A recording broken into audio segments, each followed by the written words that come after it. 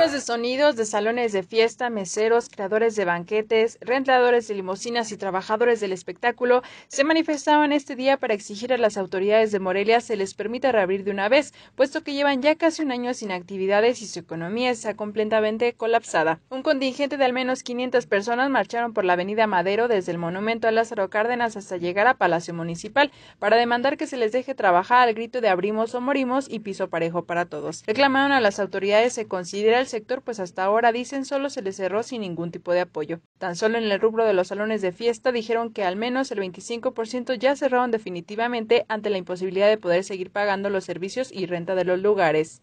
Lo que solicitamos es que si ya hoy eh, gobierno del estado y el municipal permitió que los negocios se abrieran con ciertas medidas, sentimos que los salones están siendo discriminados por no valorar que también podemos brindar la seguridad en la salud y poder reabrir.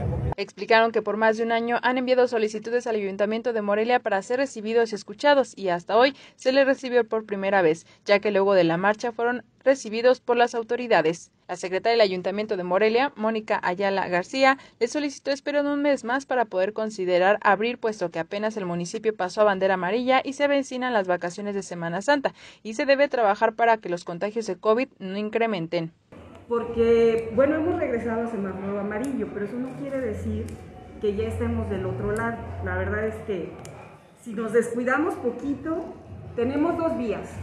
O transitamos a semáforo verde o nos regresamos otra vez a semáforo naranja. Yo les pediría que consideraran que marzo nos da como la posibilidad de transitar hacia un lado o hacia otro. Es pedirles un mes de observar medidas, nada más. Revisemos esto en abril. Ante ello, los manifestantes señalaron que su economía no puede aguantar un mes más y pidieron se les deje abrir con aforos reducidos, así como que se aplique piso parejo para todos los negocios, pues en casos como restaurantes y bares, dicen no señalan las medidas sanitarias y aún así siguen operando. Una herramienta de trabajo y hemos visto cómo la mayoría de verdad han, se han deshecho de sus cosas y de sus pertenencias, salones que han cerrado la luz, el agua y todo tenemos que pagarla. Y no hay ningún... Ese es un tema que también queremos aclarar, que a ver si nos pueden apoyar en eso, porque la verdad muchos ya no aguantan con los gastos. Segundo, estás diciendo eso de que te nos esperemos. Yo creo que si nos hemos esperado tanto, lo pudiéramos hacer, pero que sea como venimos diciendo nuestro eslogan, piso parejo, que sea parejo. Por último, las autoridades señalaron que tendrá que ser el Comité Municipal en conjunto con las autoridades estatales quienes aprueben o no que se pueda reactivar este sector y la respuesta se podría dar este próximo jueves. Informó para Mega Noticias Blanca Padilla.